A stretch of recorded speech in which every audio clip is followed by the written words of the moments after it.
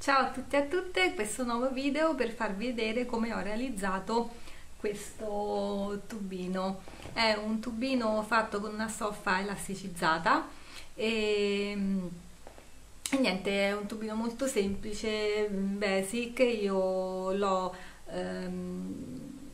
adornato con eh, questa strisciolina di eh, pizzo sempre elasticizzata e queste roselline fatte con il nastro. Per queste roselline ehm, vi rimando un video eh, della bravissima Fantasvale dove fa vedere come si realizzano. E niente, io farò vedere nel video ehm,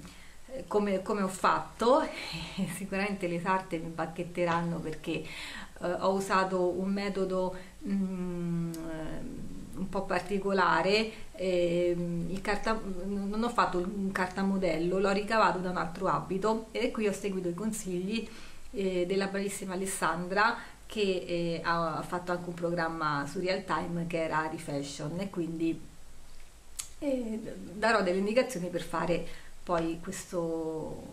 questo per arrivare a questo risultato. E lo farò ridotto a un quinto come sempre così eh, si vede bene tutto nella telecamera e, e niente, un'altra cosa, volevo mm,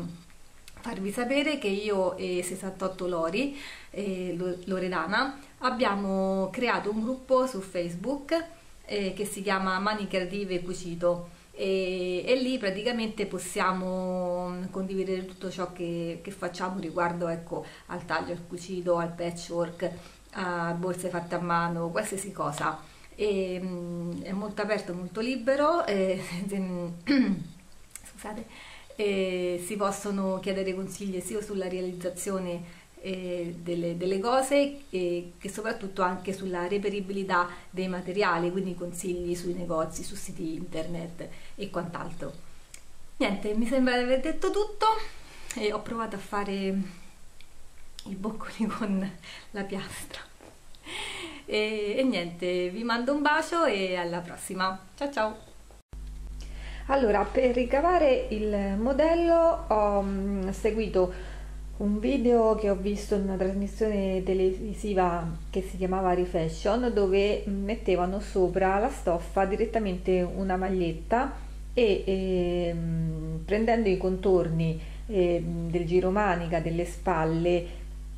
e del fianco si ricava il, la sagoma del vestito. Non ci sono riprese perché è un eh, tessuto eh, elasticizzato, quindi andrò adesso a cucire le spalle e, e i fianchi e poi mh, mm, lo andrò a rifinire. Allora, ho cucito le spalle eh, lungo tutto il fianco, poi, eh, dato che non ho mm, la taglia e cuci, ho rifilato il più possibile il bordo e ci ho fatto ehm, due passate di ehm, zig zag. Poi eh, qui sotto ehm, ho ripiegato eh, l'orlo ehm, due volte mm, facendo comunque andare il bordo all'interno e poi cucirò con un punto nascosto. Mentre invece per il giro manica e per lo scollo ho eh, effettuato dei taglietti sul eh, giro manica per far girare bene la stoffa visto che elastica è girata abbastanza bene. Anche qui ho fatto prima eh, una doppia passata di zig zag e adesso anche qui lo andrò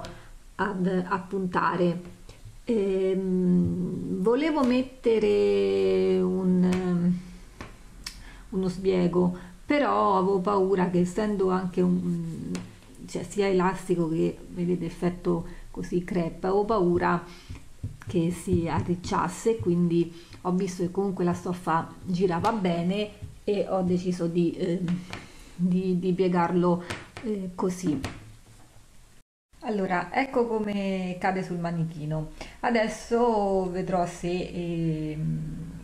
non mi farà difetto neanche indossandolo e, e poi deciderò come mm, dargli un po' di carattere visto che adesso è così ancora basic. allora per ricavare il cartamodello io faccio in questo modo eh, questa è eh, facciamo conto che la stoffa ho usato un pezzo di carta, un foglio di carta e questo è una maglietta. Io ho usato per quanto mi riguarda una eh, t-shirt della Tezenis di quelle aderenti. E l'ha girata al contrario, quindi fate conto che questa è una maglietta girata al contrario con le cuciture a vista e la piegate a metà. Poi piegate la stoffa in due e poi ancora in due e dal lato eh, qui de della piegatura appoggiate la maglietta sulla stoffa e eh, la fissate eh, con degli spilli. E metto così perché magari si vede meglio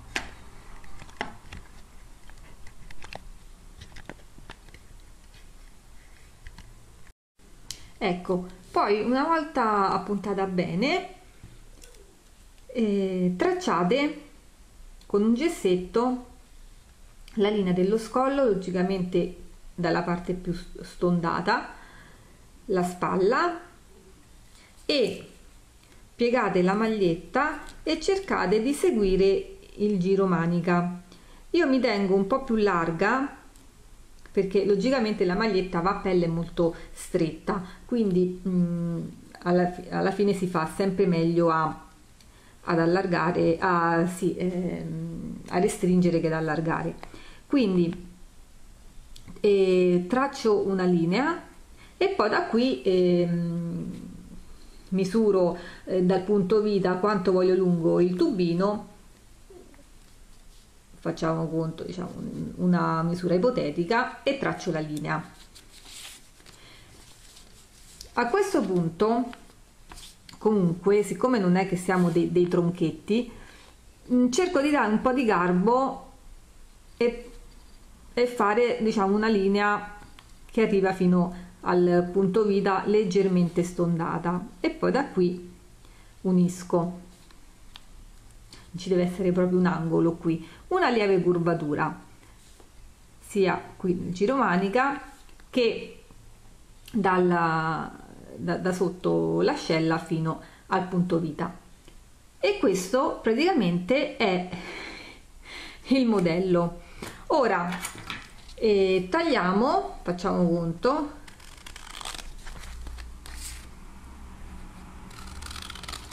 Io per esempio ho lasciato anche abbastanza margine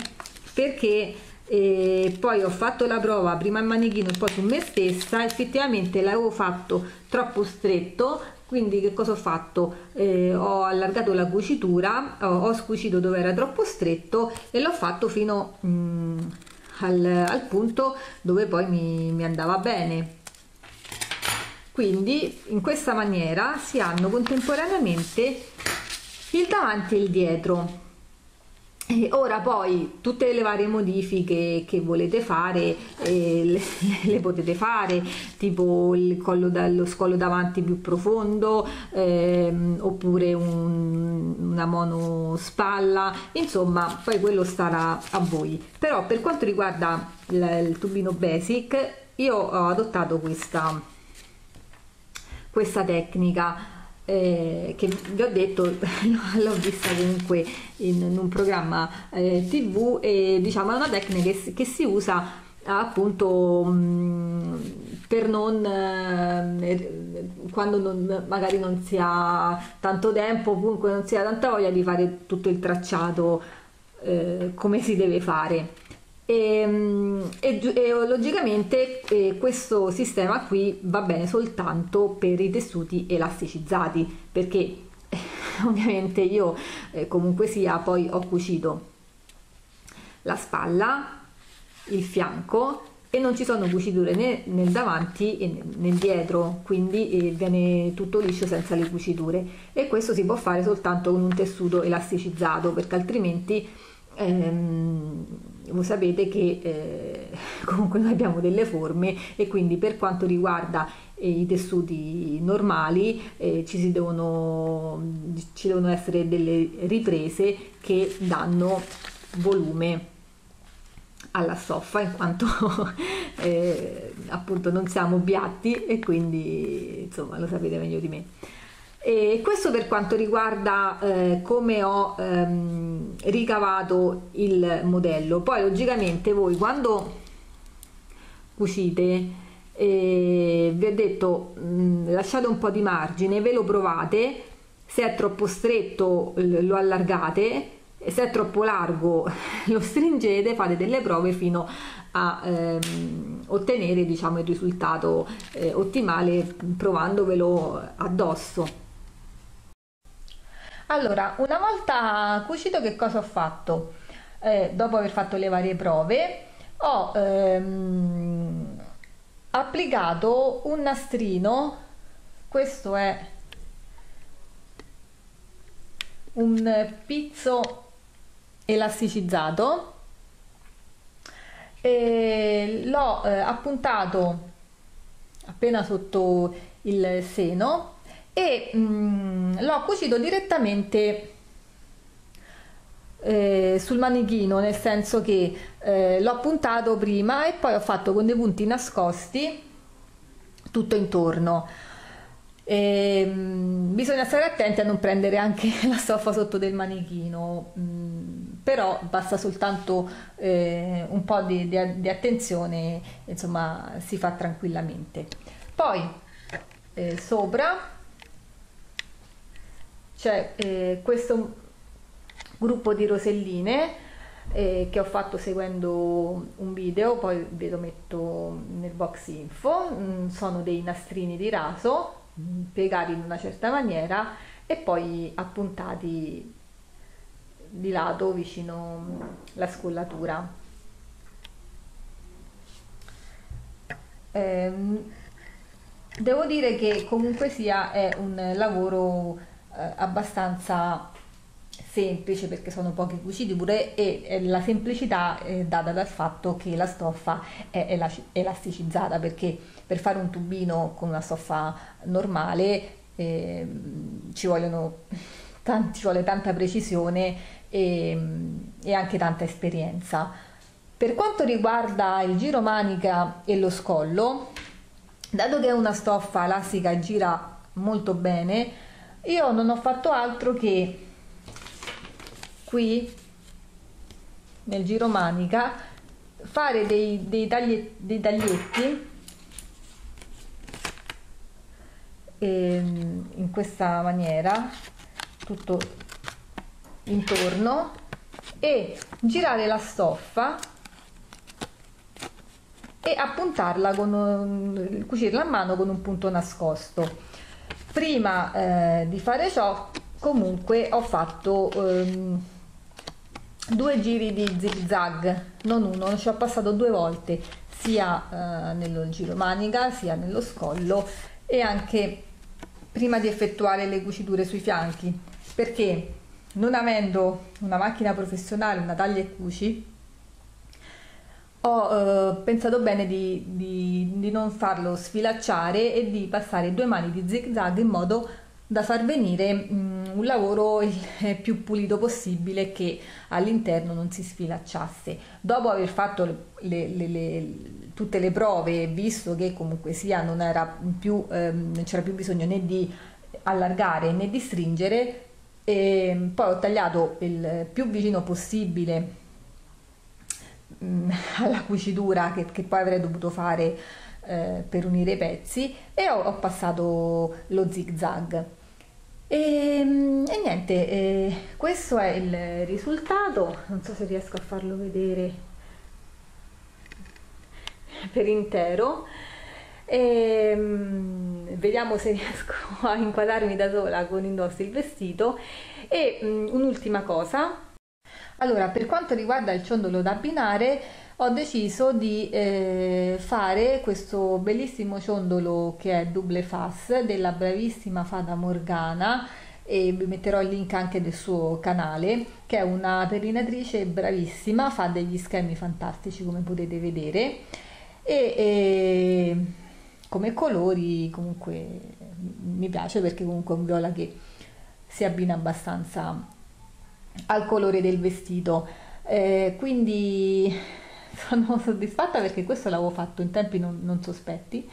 e poi mh, ho comprato questa stoffa e diciamo è venuto un, un po' da sé. E, questo si chiama appunto ciondolo giano, eh, si può trovare lo schema mh, su Etsy e mh, è, cioè, eh, è chiarissimo, si esegue veramente eh, bene, si capisce alla perfezione e, e niente, ve lo, ve lo consiglio, è, è un ciondolo bello anche perché comunque ha questa caratteristica di essere indossato un giorno in un modo e un giorno in un altro.